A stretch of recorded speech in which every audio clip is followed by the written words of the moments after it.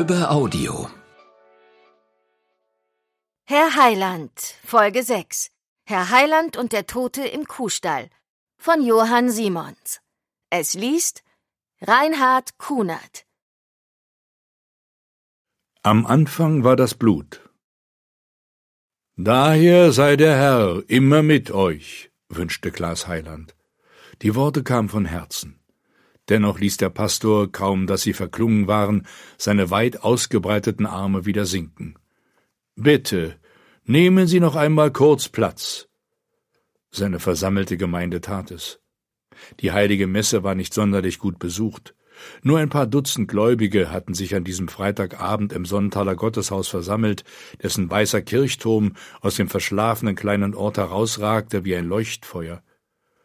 Heiland kannte seine Gemeindeschäfchen als ausgesprochen engagiert und fromm, verstand aber, warum ein Teil der sonstigen Stammgäste diesen Werktagtermin ausnahmsweise übersprang.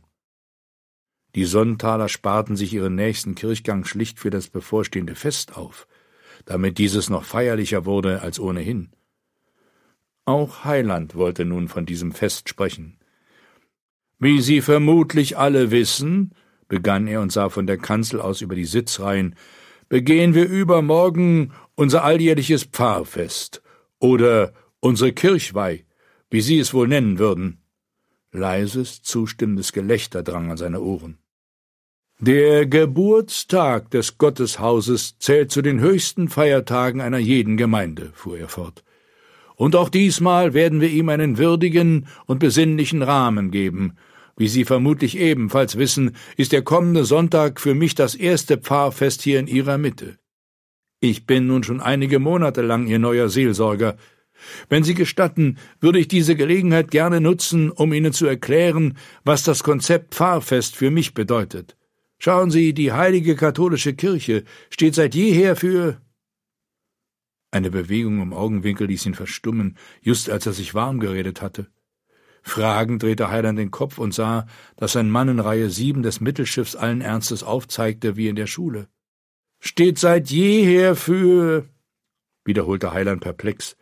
Aufzeigen in der Kirche? Während der Priester sprach? Das brachte ihn vollkommen aus dem Konzept. Äh, für. Der Mann schnippte mit den erhobenen Fingern, dazu nickte er. Er wirkte nicht ungeduldig, eher übereifrig. Heiland gab auf. Ja, Herr Winkelhuber, wandte er sich an den Störenden. Gibt es ein Problem? Severin Winkelhuber stand auf. Der schmächtige Blondschopf mit dem Vollbart und der dicken Brille arbeitete als Bahnhofsvorsteher in Sonntal.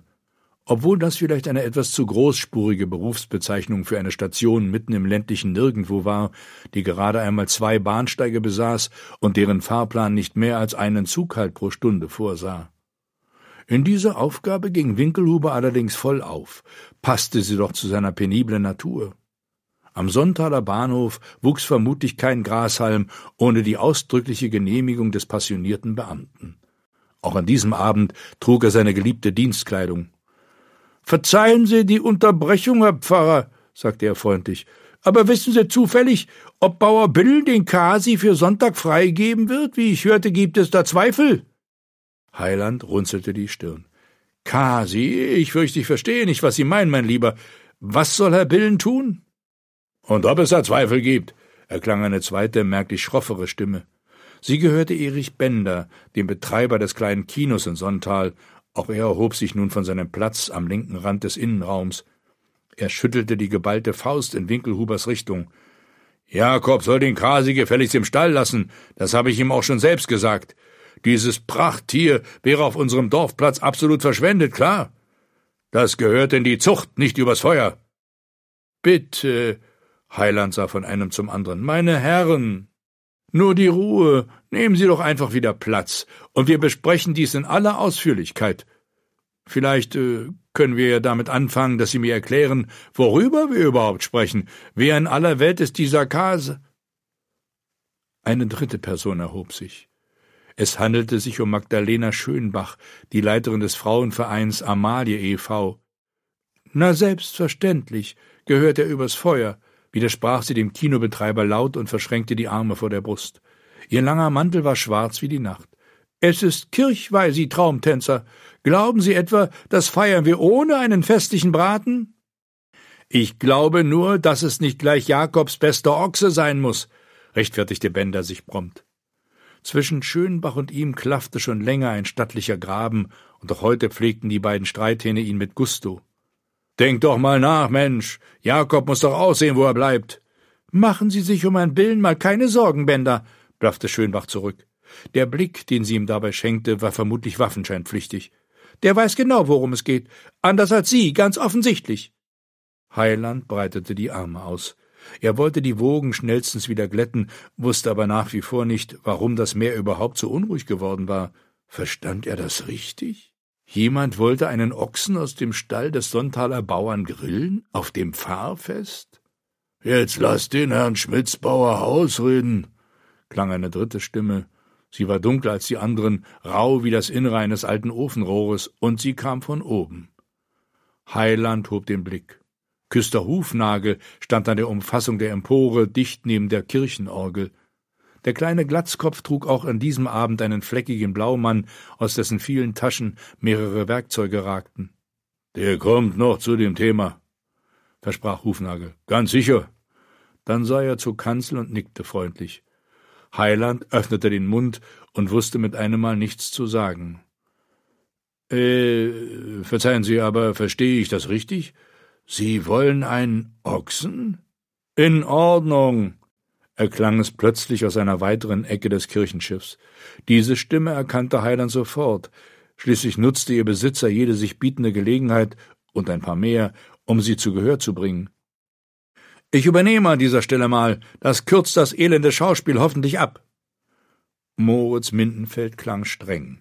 Streng war auch der Blick, mit dem der Sonntaler Bürgermeister seine Mitmenschen strafte, als er sich seufzend von seinem Platz erhob. Mindenfeld trug Anzug und Krawatte.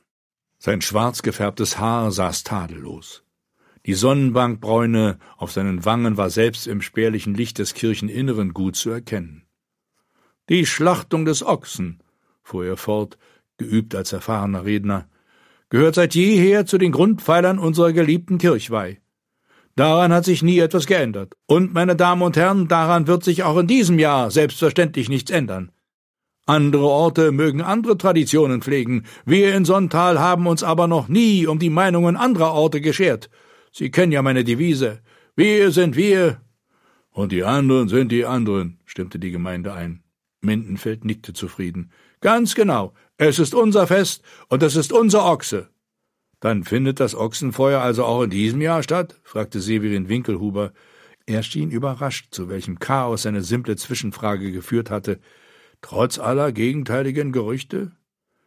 Hören Sie nicht auf Gerüchte, Severin, sagte Mindenfeld und schenkte ihm sein gefürchtetes Zahnpastalächeln. Hören Sie auf Ihren Ortsvorstand. Ich habe persönlich mit Jakob Billen gesprochen, erst vor wenigen Stunden. Kasimir ist bereit für den großen Tag, und das war auch nie anders geplant. Von Jakob nicht und vom Rathaus auch nicht.